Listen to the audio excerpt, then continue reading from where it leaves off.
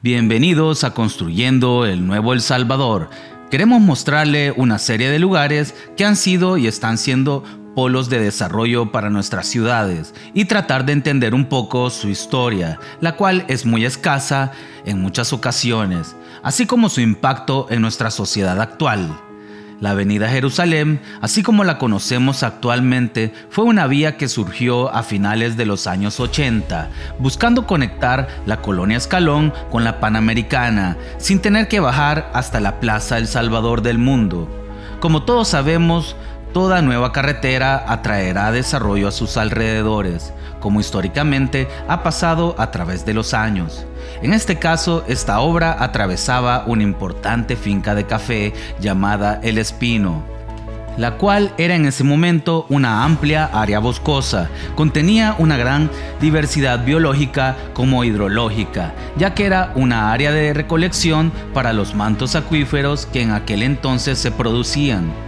También era un área que acogía y permitía la reproducción de decenas de especies de aves, tanto de paso como locales.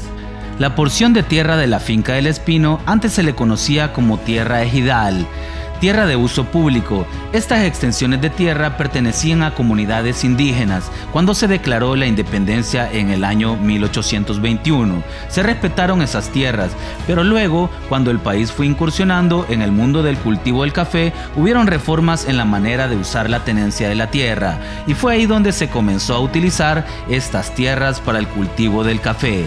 Esto se logró con una reforma liberal, ya que en esta época muchas personas no tenían escrituras públicas que les hacían respaldar la tenencia de un terreno.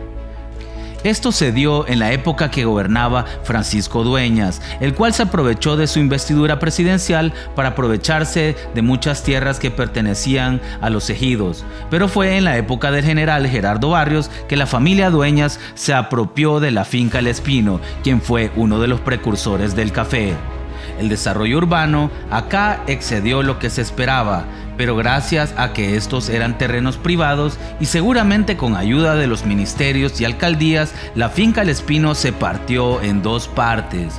Una área llamada el Parque de los Pericos para toda la población y el otro lado llamado Casco, en donde aprovechando la gran biodiversidad y el clima fresco, se permitió urbanizar para un sector totalmente exclusivo, la mitad este de esta gran finca, mientras que en la otra mitad, donde también habitaba una comunidad descendiente de los que cortaban café en esta área durante el auge del café en El Salvador, el cual fue a principios y mediados del siglo XX, se construyera un parque ecológico público, el cual respetaría tanto la flora como fauna de este lugar. La iniciativa del parque fue bien acogida por la población, mientras la deforestación del área este del parque se hizo a puerta cerrada, para un sector muy exclusivo de la población. Es una lástima cómo el progreso mismo, que está demasiado centralizado en la capital de San Salvador, haga esto con áreas tan ricas en recursos que son para todos los ciudadanos. Es por este crecimiento descontrolado sobre áreas boscosas que cada día más se crean más inundaciones debido a que el suelo no es capaz de absorber las lluvias que cada día son más extremas. En El Salvador, así como se piensa en progreso, se debe pensar en sostenibilidad para que las generaciones del futuro no se vayan a ver afectadas por las decisiones de hoy. El desarrollo de ciudades en áreas boscosas también conlleva ciertos costos. La deforestación descontrolada puede tener un impacto negativo en el medio ambiente. La tala excesiva de árboles puede llevar a la pérdida de biodiversidad la erosión del suelo y la degradación de los ecosistemas además.